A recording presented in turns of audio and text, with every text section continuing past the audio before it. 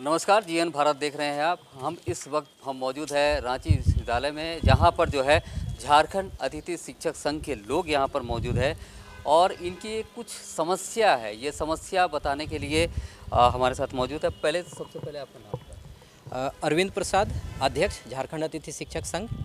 जी। ये अरविंद जी क्या समस्या हो रही है समस्या ये है कि हम लोग हम लोगों की नियुक्ति राज्य सरकार के निर्देशन से वर्ष 2015-16 के पश्चात हुई है। कई संकल्पों के कई, नोटिफिकेशन के माध्यम से। और हम लोगों को सत्रह महीना से मानदेय का भुगतान नहीं किया गया है। हम लोग हर बार आए यहाँ धरना भी दिए बहुत सारी चीज़ें किए लेकिन अभी तक हम लोगों को वेतन का भुगतान नहीं किया गया है। स्थिति ऐसी हो गई है जीवन मरण की स्थिति हो गई है। अब बतलाइए कि एक दिन या फिर एक महीना किसी को वेतन नहीं दिया जाए दिया जाए तो उसका जीवनचर्या क्या हो सकता है? अब देखिए कि हम लोग को सत्रह महीने से मानदेय का भुगतान नहीं है। आप बताइए कि आप जिएगा जिएगा खाइएगा कैसे? हम लोग इसीलिए कई बार यहाँ यूनिवर्सिटी आए हैं लेकिन अभी तक हम लोगों का समस्या का समाधान नहीं किया है। मानदेय नहीं मिला आपको बिल्कुल नहीं।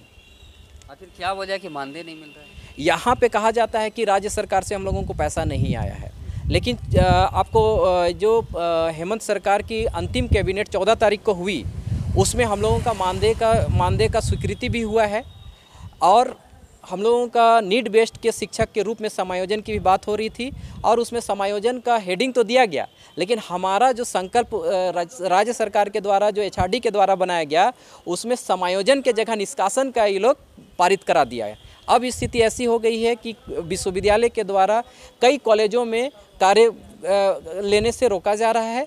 दूसरा चीज़ है कि कई ऐसे विभाग हैं जो कि पूरा गेस्ट फैकल्टी पर आश्रित थे। कई मॉडल सारा model college guest guest faculty पर आश्रित है और आज आप जा कर के पता कर लीजिए कि कहीं भी कक्षाएँ नहीं हो रही, सभी कक्षाएँ बंद हैं, ठप हैं, लेकिन उच्च एवं तकनीकी शिक्षा विभाग को इससे कोई फ़र्क नहीं पड़ता है। वीसी से मुलाकात हुई आपकी? नहीं बीसी सर से अभी भी मुलाकात नहीं हुई है। हम वार्ता कभी हुई? वार्ता हर थोड़े दिन में होती है। यहाँ से कह दिया जाता है हम लोग राज्य सरकार से पैसा मांग रहे हैं लेकिन अभी तक पैसा नहीं मिला है। लेकिन आप हमारे गार्जियन हैं तो आपको सोचना होगा कि कब तक हम लोग ऐसे ही जिएँगे। कितने महीने का सत्रह महीने से मानदेय का भुगतान नहीं हुआ है।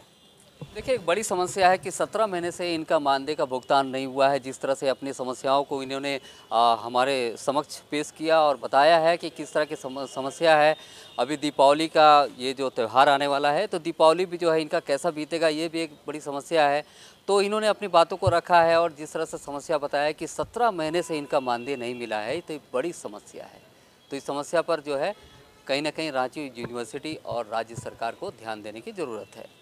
रांची से जीएन भारत के लिए मैं मोहन कुमार।